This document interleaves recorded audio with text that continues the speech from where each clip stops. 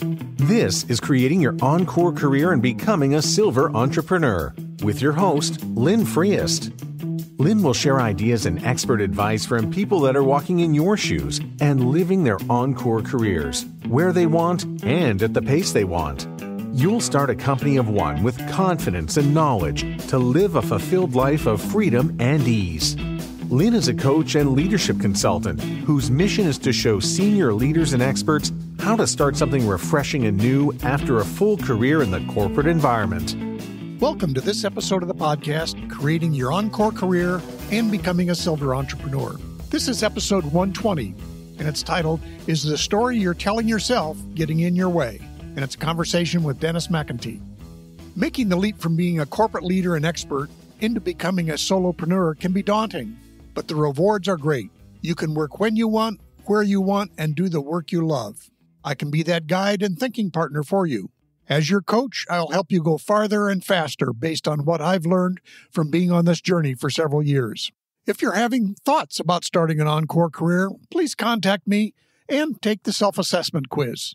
The quiz will help you get some quick clarity around what's possible for you in the future. And after you listen to the podcast, I encourage you to visit my website at lynnfriest.com and download the PDF as a guide to help you take the next steps in your pursuit of starting an encore career. Today, we're going to be talking to Dennis McIntee of the Leadership Development Group. I met Dennis several years ago through Jonathan Milligan in one of his programs, and have enjoyed following Dennis in his journey. Dennis wrote the book on drama free teams and still does that as a large part of his work, helping organizations and leaders eliminate some of the drama from work and get more results. And Dennis has been working with teams and, and leaders for over 15 years. I also remember how Dennis repeatedly asked me as uh, I was developing my work, he says, What's your fastest path to the cash? Just as kind of a side note, but he kept saying I had to focus on that, as I would suggest all leaders and all encore career people have to. Well, some of the questions we'll discuss include how the stories we tell ourselves and others can help us or create drama that isn't helpful in our lives and business.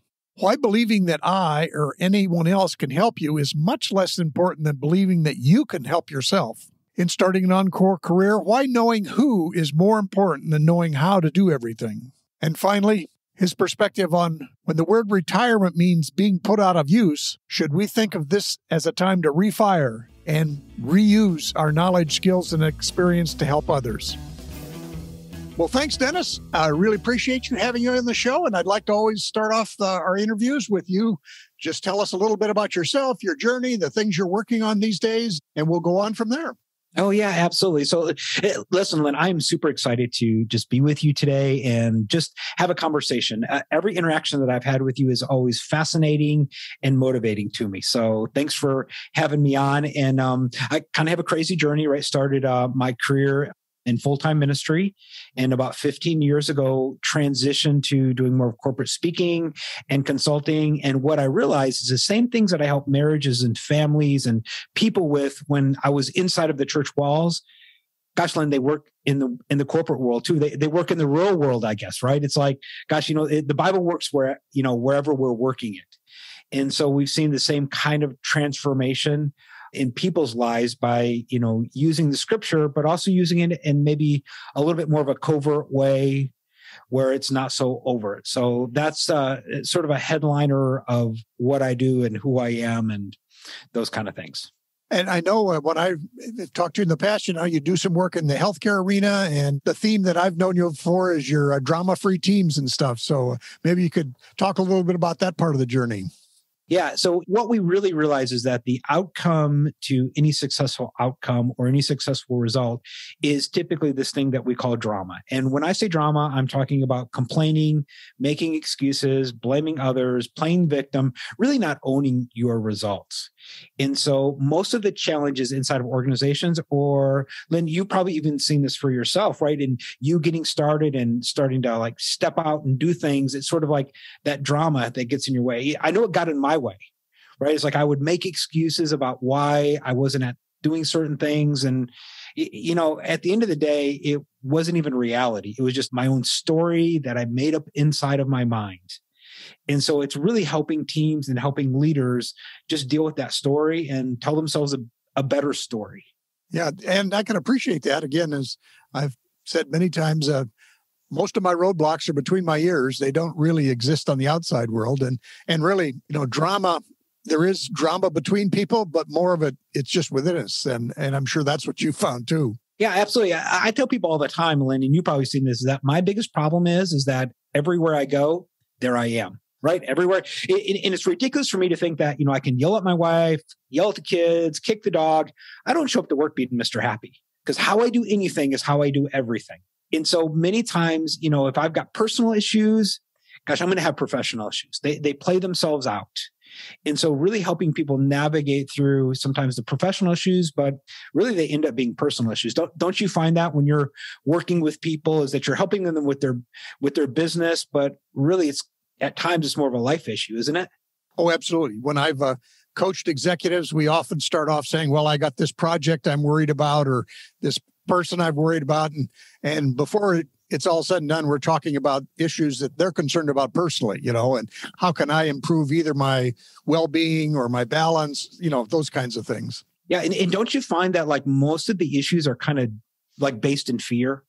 Right? Most worry or concern is like, well, I'm afraid of something. I'm afraid it's not going to happen correctly, or I'm afraid it's not going to get done on time, or I have this deadline. And really, I think helping people navigate through that fear is really a, a, big part of what you do, what I do. And even like, you know, you've been in some of our workshops with Jonathan Milligan and I. And what I've noticed is that when we interview people for like, say, like high end workshops, and Jonathan and I were talking about this, is that they're totally convinced that we can help them, but what they're not super convinced is that they can really do it. And it's almost overcoming that Right. I've even seen that with clients is like they believe in me that I can help them, but at the end of the day, they're not quite sure they believe in themselves enough. And so I think like helping people like get that confidence and that belief to really step out and really just, you know, see what happens. It's like I, I know I confronted that. I was in full-time ministry and I thought, well, wow, what if what if I could take these same teachings and morph them in would it work in corporate America? Would it work in hospital systems? And would it work in banks and financial institutions? And when I first stepped out, it's like I didn't have a lot of confidence, but I just was like, you know, let's just try. And so I think a lot of times, like eh, that's an issue for people. And I'm sure you've seen that. Yeah. And, it, and everybody feels like things are different for me, kind of a thing. On the other hand, yeah every morning I, I read a, a book called The Daily Stoic, and it's just quips from people from 2,000 years ago talking about problems with themselves and people. And they really haven't changed a whole lot. Isn't that funny? funny how that works. we, we haven't, in the end, solved all those things completely over several thousand years. So people have problems, and especially if you're trying to do something this is what we've seen is that obstacles tend to stop people. But think about this one. Do you know the only reason that you have obstacles? The only reason you really have an obstacle is because you have a goal, right? As soon as I set a goal, so eh, so I set this goal about two months ago. I said, okay, through COVID, I kind of became a chunk, right? Some people became a drunk, some people became a chunk. Through COVID, everybody has a different journey. I went the chunk route, and about two months ago, I just woke up and I said, what happened? I gained 15 pounds, and so I just set a goal. Okay, I'm going to lose 15 pounds. Lynn, as soon as I set that goal, four obstacles appeared. I like to eat ice cream. I want to drink wine at night. I don't like to exercise and I don't want to put things in MyFitnessPal. But I never had those obstacles the day before. But as soon as I said, this is the goal, obstacles appeared. And I think sometimes like helping people see that, you know, obstacles are normal. It's almost like they're the raw material to get your goal inside of every obstacle. And so just, you know, it, we've seen that with uh, a lot of people working with people is that they get stuck in the drama of like, it's an obstacle and they go, well, it shouldn't be this way and it should this and it shouldn't that. And they just shit all over themselves, right? It's like, I'm just walking around shitting, you know, and I have these obligations, but I'm not really committed to it. And so I just stop. And so I think even helping people see go, obstacles are normal. Yeah. If you weren't up to something, well, one, you wouldn't really be living much, but two, right. yeah. it's true. Yeah, it's it's one of those things. I would guess even the monk in a monastery has some obstacles. some, yeah. Anybody that has a goal, and in fact, here's what's interesting: is I think the most ambitious people have the most obstacles. Mm-hmm. It's a sign of having a lot of ambition. So almost like, hey, it's normal. And I think helping people see that, yep, obstacles are normal. Now, the other thing for myself and my audience is as we make that transition from corporate world to independent work, you know, we were used to a certain way of doing things and we were used to quote, never making mistakes. you wanted it perfect when you did something. And now as you go into that independent world, you're just going to make mistakes and you actually have to to get better at what you're going to learn to do. Well, I almost think of things as like it's just a big experiment, right? Len, it's like I get a result and it's based on my actions right? And so if I don't like the result, I can just change my action. And so sometimes, I, I mean, are we glad that Thomas Edison didn't give up after five times? Right. It's like he just looked at this whole idea of electricity as just one big experiment. But if you can kind of look at your life a little bit that way, it kind of takes some of the sting out of like, it's not failure, it's just feedback. I did this, it gave me some feedback.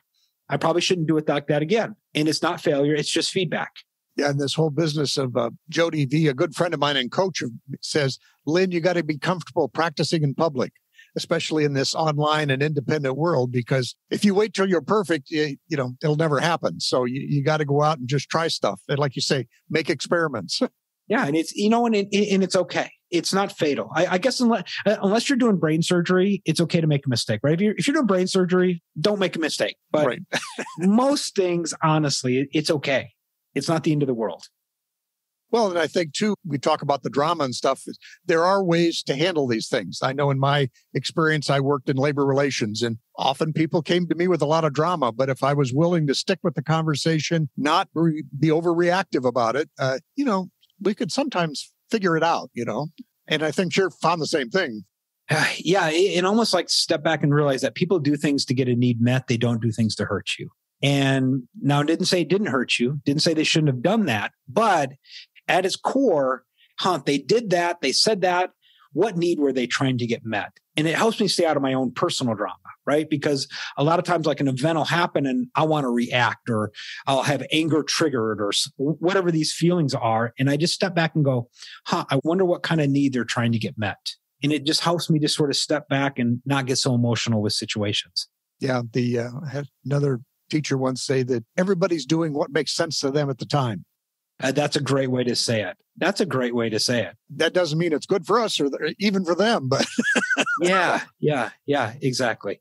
Other things as you think about, as when I think about uh, people going out for the first time to meet with clients and meeting for the first time, how would they go about kind of a, avoiding some of these things that would either trigger themselves or trigger the client? Well, how would you say, how do you approach it? Should, I don't call it a difficult conversation, but let's say it's the first conversation you're having with somebody like a contractor or a client.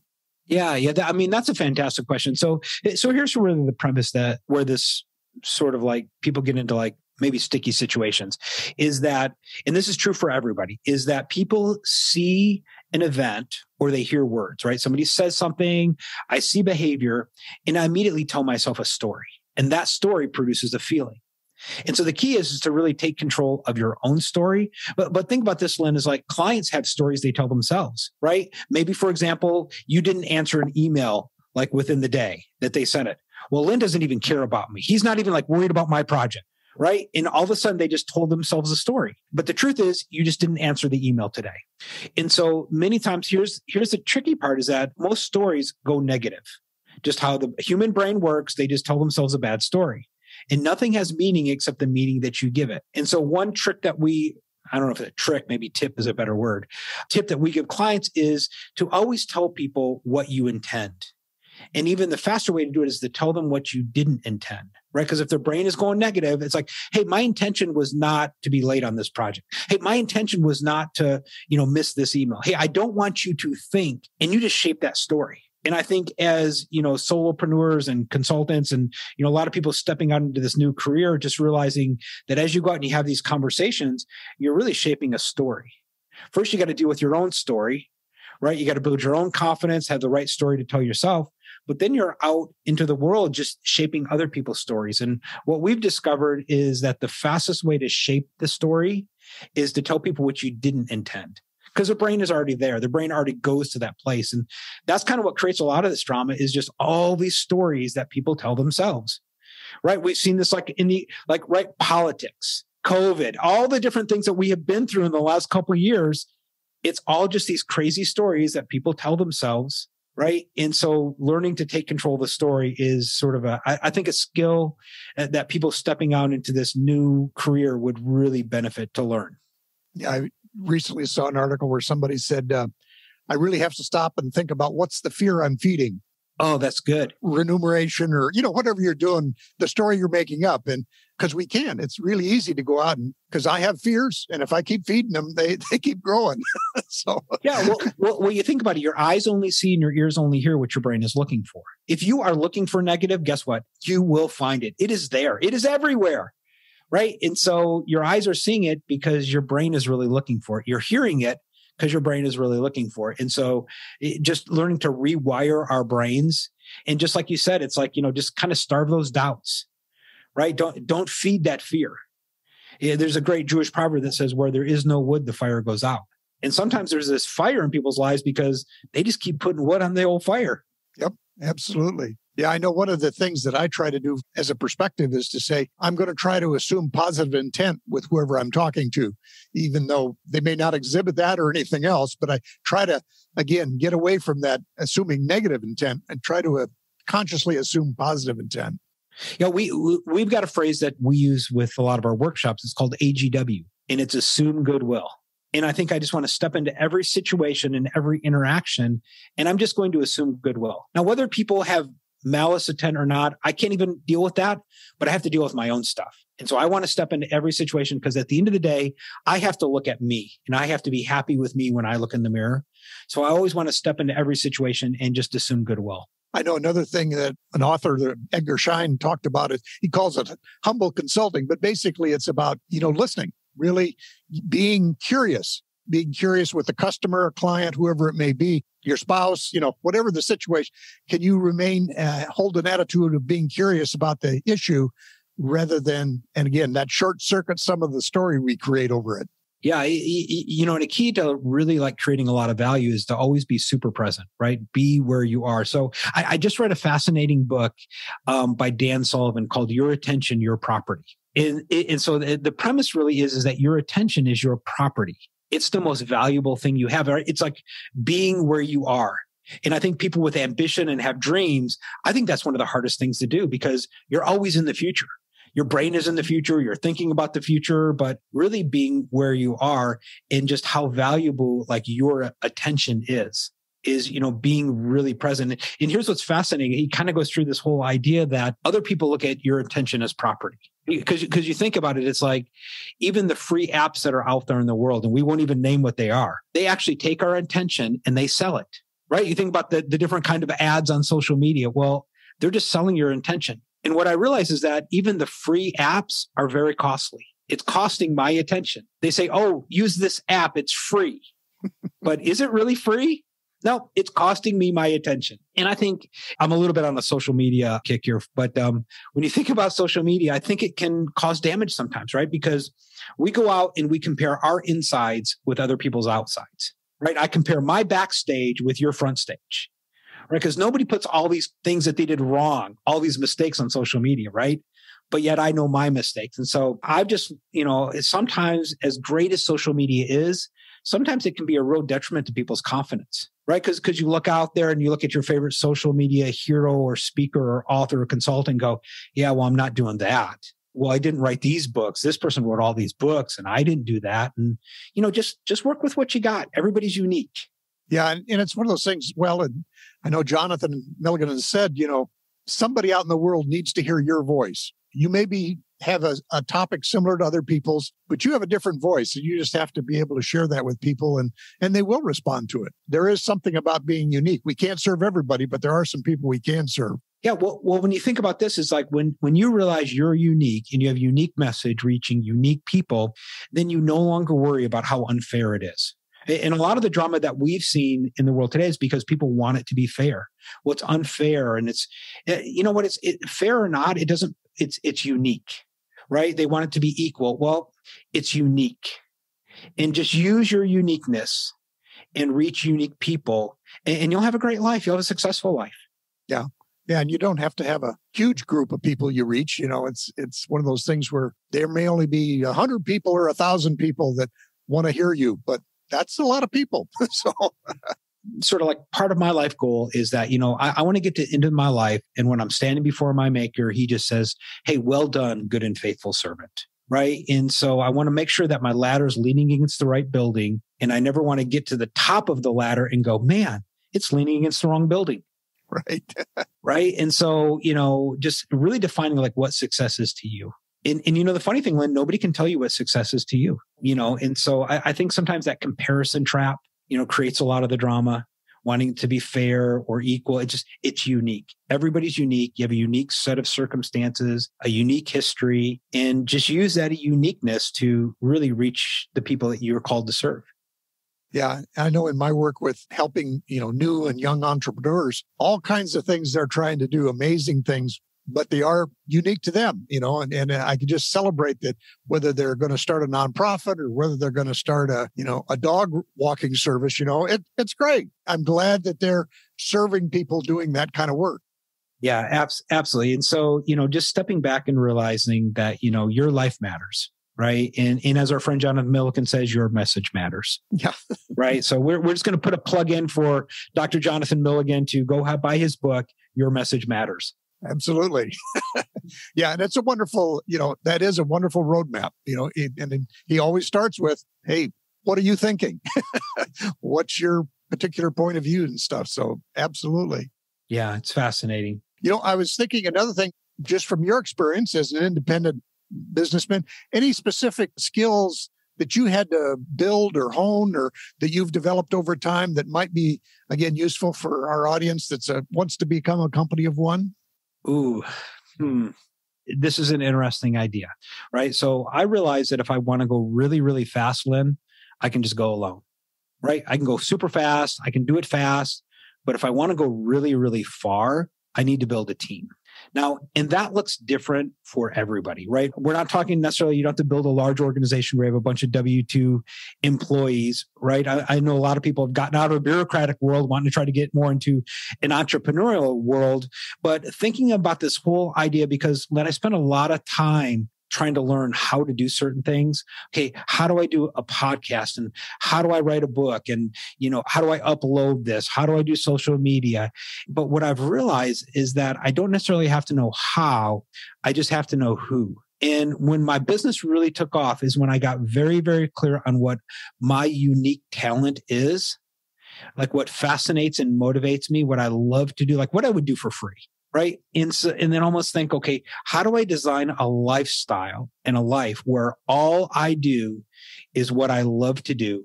And all these other things that frustrate me, I just have a team of people around me. A team can look really different, right? It's like your CPA could be a part of your team and, you know, your website designer, he's a part of your team. It's not that you're paying him, you know, full time. And I just really work to put a team around me that I was just doing what I was fascinated and motivated by. Because it's almost like, you know, a lot of people, especially Lynn, I love what you're doing because you got the gray hair, you got all the knowledge, all the wisdom. It's like, I want to be who you are, right? I want to be like where you're at. But I was thinking about this. A lot of people, like at this age, they talk about retiring, right? And, and that word retire means to be put out of use and I've never met anybody that said, Hey, I really want to be put out of use. It's almost like at the time of your life when you know the most and you have the best wisdom, now's the time where you can have the biggest impact. But if you're trying to do things that you don't enjoy or that are frustrating you, right, I can see where you'd want to retire. So my biggest tip is learn to build a team, learn to delegate. And what I've realized about building a team is that I can take things that irritate me and I can find other people that love those things. So I have a team member that actually manages my calendar. I don't even book my own appointments because Lynn, I suck at it. I hate it. I don't like it. But I have this girl that she thinks my calendar is a gigantic puzzle. She just like geeks out and is all excited about my calendar. And it's like, this is a match made in heaven, right? I hate the calendar. She loves the calendar. Hey, we can really work together. And so going out into the world and like kind of thinking like who who's the person that has my answer, who can help me and only doing what fascinates and motivates you. I don't know if that's a that's a good hack or not, but that's that's what's working for me. No, that's excellent because again, as I share with my audience that some of these things it's easier to do than ever before. You don't have to hire 25 people. You can hire people that have particular skill sets that enjoy doing that. for part of the time or a little, a few hours of time, whatever it's needed. But uh, again, you can you can get all these things that either you don't know how to do or it's not worth your time or you hate doing whatever it may be. Yeah it's just easier than it's ever been before i think. So it shouldn't be as much of an impediment to people as it used to be. Yeah, well, and I think a great question for like your audience might be is like, hey, what do you want freedom to do?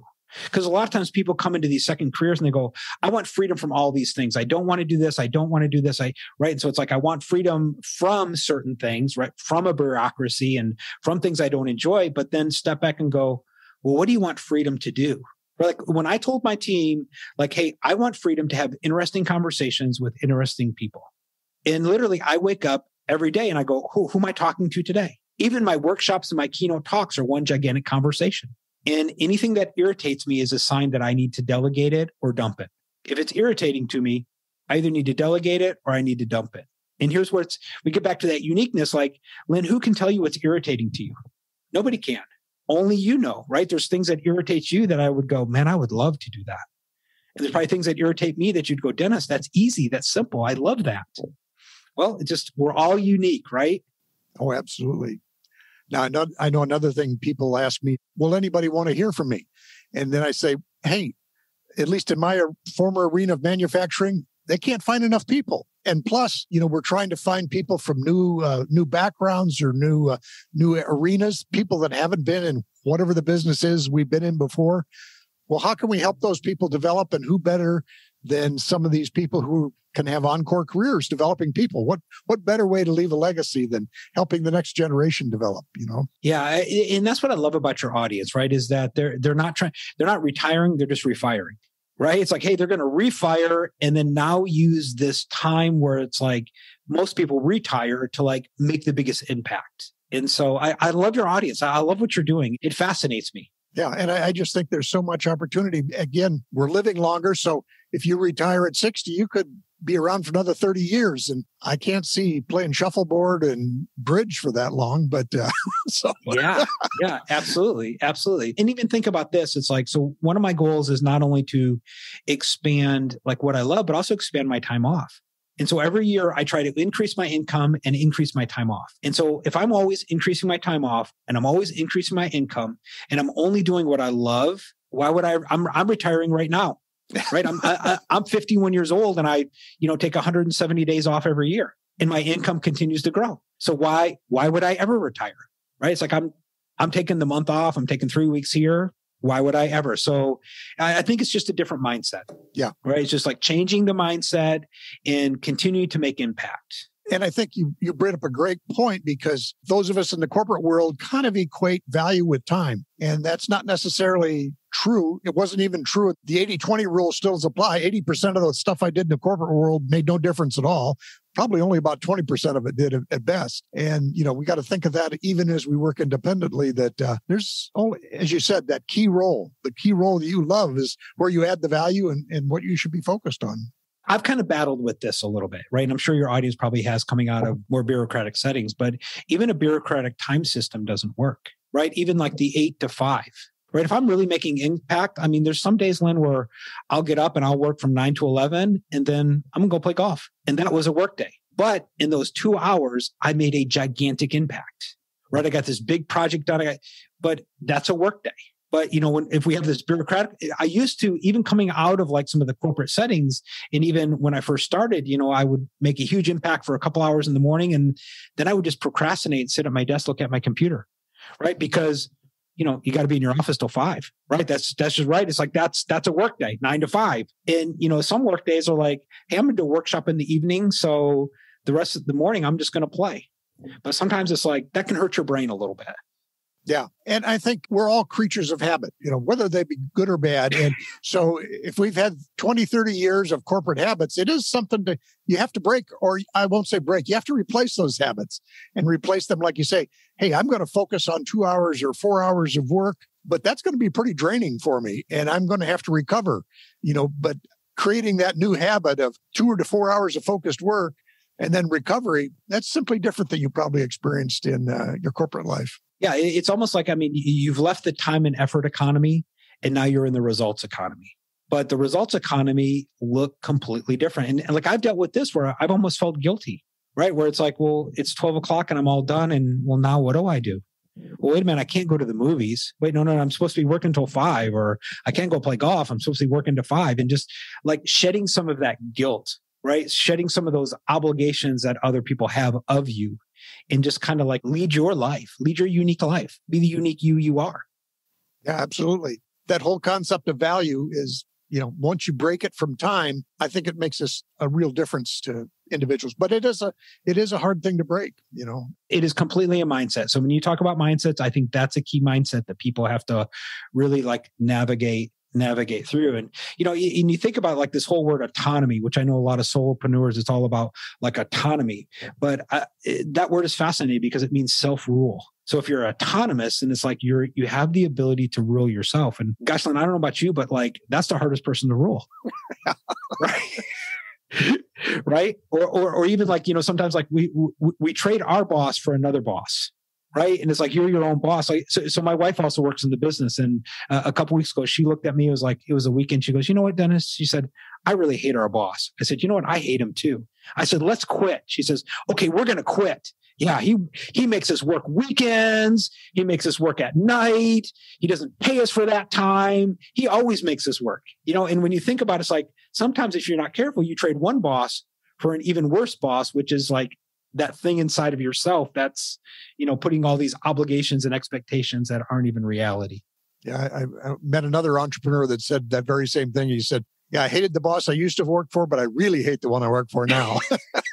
he knows what I'm slacking. He knows what I'm wasting time. yeah. So just, I mean, give, just giving yourself grace, realize it's a process, it's a journey, and just, you know, get really clear on your uniqueness because you are unique and framing that business around that. Yeah. I think too, the other, uh, you know, along with this whole, you're creating value for people. You're not executing processes probably. You're, somebody may be but you know that's not where value arises in executing a process. So uh, i think it was steve jobs once said you know the best cabbie in new york and the worst cabbie in new york will only have about a 30% difference in getting me to the airport he says. But the best programmer in the world and the worst programmer in the world there may be a 300% difference.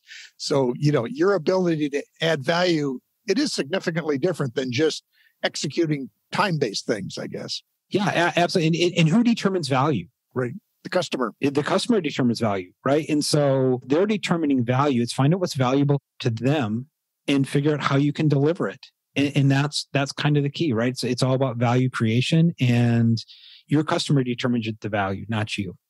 Oh, absolutely. I just thought about my kids, and it's always interesting. In fact, even my parents have said that's about me. Is we'll describe what provided value to us from our parents, and the parents won't even remember they did it you know?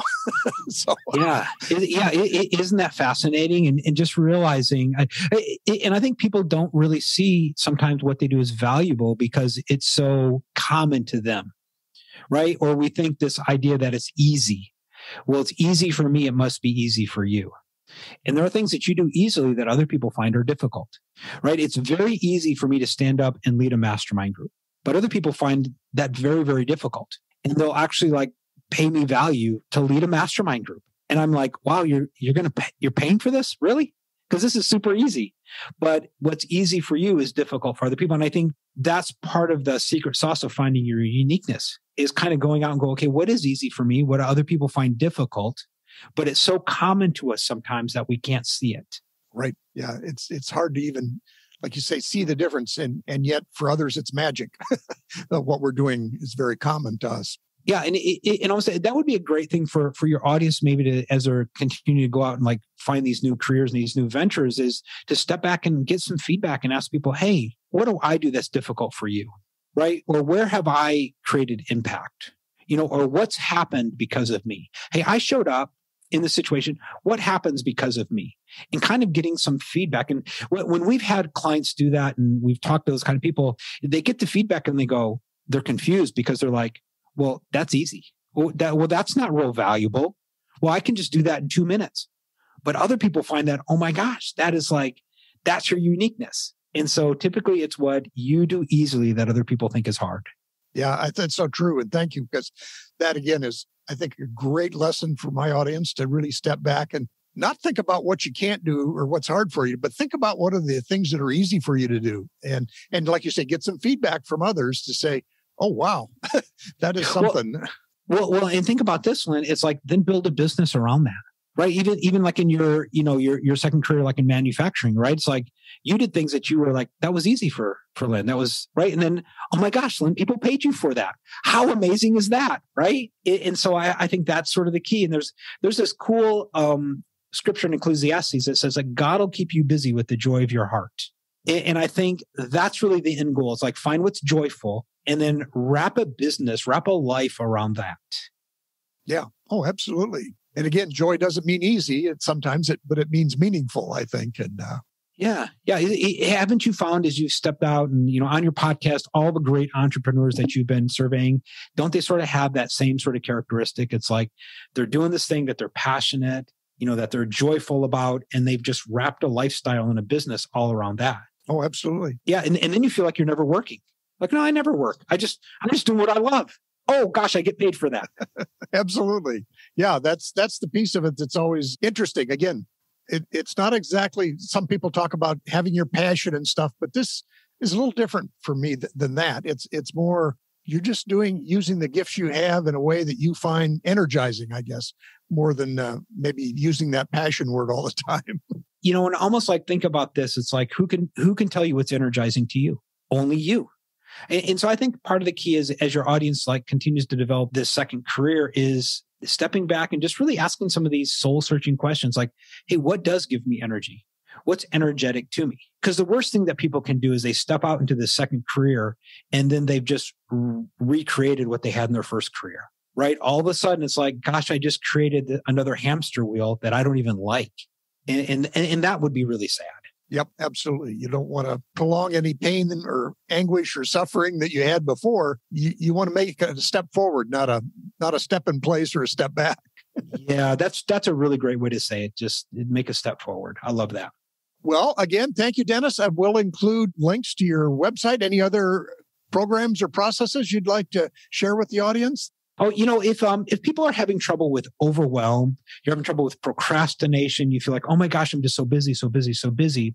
We created the five day focused leader challenge. So if you're having trouble getting your focus and really like working in the things that matter most, you just go to www.dramafreeresults.com and it's a free five day challenge. It's five quick videos for five days five quick action steps that'll really help you get your focus back. So if you feel overwhelmed, feel like, oh my gosh, I'm just so busy, dramafreeresults.com, and you can get some free resources to get out of the overwhelm. Great. And we'll include that link in the show notes. Look forward to it. And uh, we'll include a link to your website so they can explore things more with you if you'd like. So, uh, again, Dennis, I thank you so much for uh, joining us today on the podcast and really appreciate it.